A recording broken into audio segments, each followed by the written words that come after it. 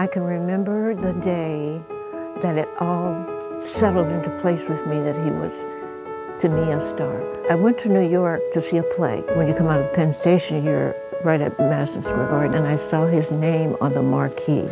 And I said to the people, that's my son.